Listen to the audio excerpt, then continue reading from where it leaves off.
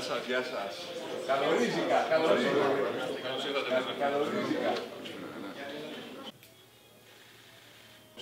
Μπράβο, πολύ ωραία.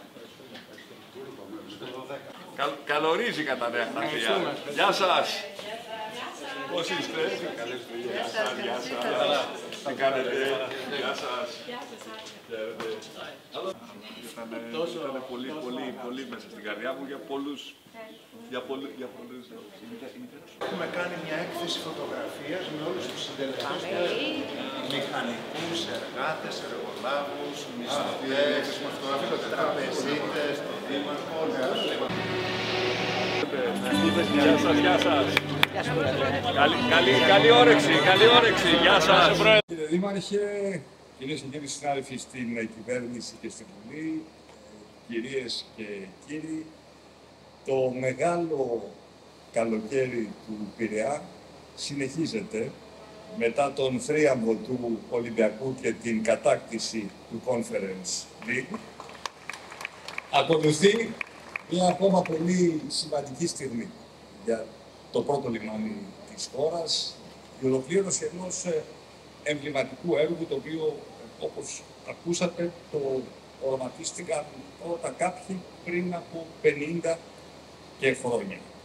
Και θα έλεγα ότι αυτό το έργο το οποίο βλέπουμε σήμερα είναι με τον τρόπο του το σύμβολο μιας πόλης που αλλάζει, αλλά και το σύμβολο μιας χώρας που προχωράμε με αυτοπεποίθηση στο μέλλον.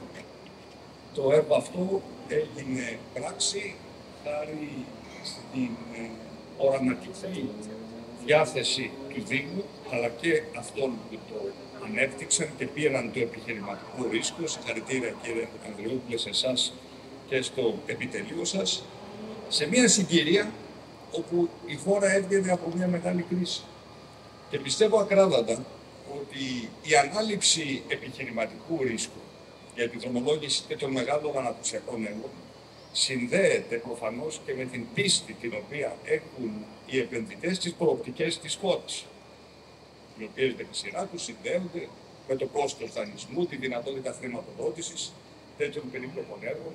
Όλα αυτά λοιπόν ήρθαν και συναντήθηκαν, ξεπεράστηκαν οι δυσκολίες οι μεγάλες, η πανδημία, ένας πόλεμος στην Ουκρανία και βρισκόμαστε σήμερα στην ευχάριστη θέση να εγκαινιάζουμε ένα κτίριο το οποίο με τον τρόπο του θα γίνει ένα, όχι το μόνο, ένα από τα πολλά. Το πόσημα μιας πόλης η οποία αλλάζει και η οποία προχωρά με αυτοπεποίθηση προς το μέλλον. Αγαπητέ Δήμαρχε, έχουν γίνει πολλά στην πόλη του Πειραιά και θέλω να εξάρω την ε, εξαιρετική συνεργασία την οποία έχει ο Δήμος του Πειραιά με την ε, κυβέρνηση, η οποία με τον τρόπο της στήριξε τα σημαντικά αναπτυξιακά έργα, το πιο σημαντικό από όλα το έργο του Μετρό και ταυτόχρονα δρομολογεί και μια σειρά από καινούργια έργα όπως το Μουσείο Ενάλιων ε, Αρχαιοτήτων, ε, την, ε, τις περαιτέρω αναπλάσεις, οι οποίες θα αναδείξουν ακόμα περισσότερο την ομορφιά του πρώτου λιμανιού, τη μετατροπή τους σε ένα λιμάνι το οποίο θα είναι φιλικό προς το περιβάλλον, έτσι ώστε αυτό το οποίο αποκαλούμε cold ironing, την ηλεκτροδότηση του λιμανιού, ο Πειραιάς θα είναι στην πρώτη γραμμή αυτής της νέας μεγάλης περιβαλλοντικής πρόκλησης και θέλω να θυμίσω βέβαια, μιας και έχουμε και ευρωεκλογές σε λίγες μέρες από τώρα, ότι τα έργα αυτά συγχρηματοδοτούνται από ευρωπαϊκούς πόρους και συγκεκριμένα από το Ταμείο Ανάκαμψης, το οποίο προσέθεσε σημαντική χρηματοδοτική δυνατότητα στη χώρα για να υποστηρίξει τέτοια οραματικά έργα.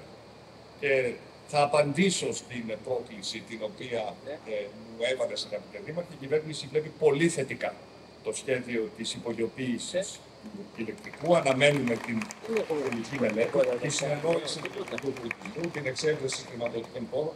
Αντιλαμβάνομαι όμως την μεγάλη σημασία την οποία το έργο έχει αυτό για την ε, ουσιαστικά ε, ποιοτική ε, ανάπλαση μιας περιοχής του Πειραιά που χρήζει περαιτέρω επεμβάσεων. Χαίρομαι λοιπόν που ο Πειραιάς μετατρέπεται από μια πόλη η οποία ήταν ταυτισμένη με την αυτιλιακή δραστηριότητα σε μια πόλη προορισμό, αυτοτελούς προορισμό και σε μια πόλη η οποία μπορεί να προσελκύσει και άλλες επιχειρηματικές δραστηριότητες πέραν της ναυτιλίας με την οποία κυρία Πρόεδρο ο Πειραιάς θα είναι ούτως ή αλλιώς πάντα ταυτισμένος.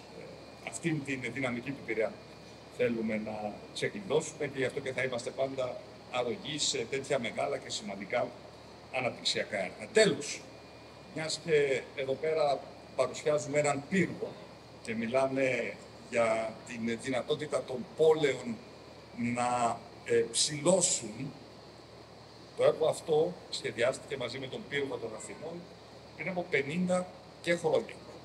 Οι ανάγκες των πόλεων αλλάζουν και οι επιταγές για απελευθέρωση χώρου, για περισσότερο πράσινο, γίνονται ολοένα και πιο έντονες. Και πιστεύω ότι συνολικά θα πρέπει να ξεπεράσουμε μια σχετική πολεοδομική ψοφοβία την οποία έχουμε στο πώς σχεδιάζουμε τις πόλεις του μέλλοντος.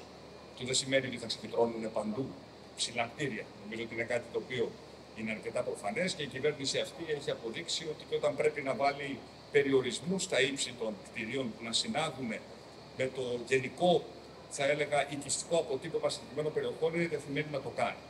Όμως ε, χτίζονται και άλλα, και θα χτιστούν και άλλα ψηλά κτίρια στην, στην πατρίδα μας και νομίζω ότι η αντιμετώπιση της ε, ανάπτυξης των πόλεων αξιοποιώντας τη δυνατότητα που το ύψος μας δίνει, όπως οραματίστηκαν κάποιοι παλαιότερα εμάς, είναι σίγουρα κάτι το οποίο πρέπει πια να εξεταστεί με περισσότερο θάρρος. Κλείνω συγχαίροντας και πάλι όλους όσοι εργάστηκαν για να γίνει πράξη αυτό το σημαντικό έργο, τους ε, εργαζόμενους του Δήμου, της κοινοπραξίας, το Ταμείο ε, Παρακατευτών ε, και δανείων την κατασκευαστική εταιρεία. Είναι ένα σύνθετο τεχνικά έργο, όπως βλέπετε, και με πολύ υψηλά περιβαλλοντικά standards, ένα έργο το οποίο είναι πρότυπο ως προς τον τρόπο με τον οποίο διαχειρίζεται την ενέργεια και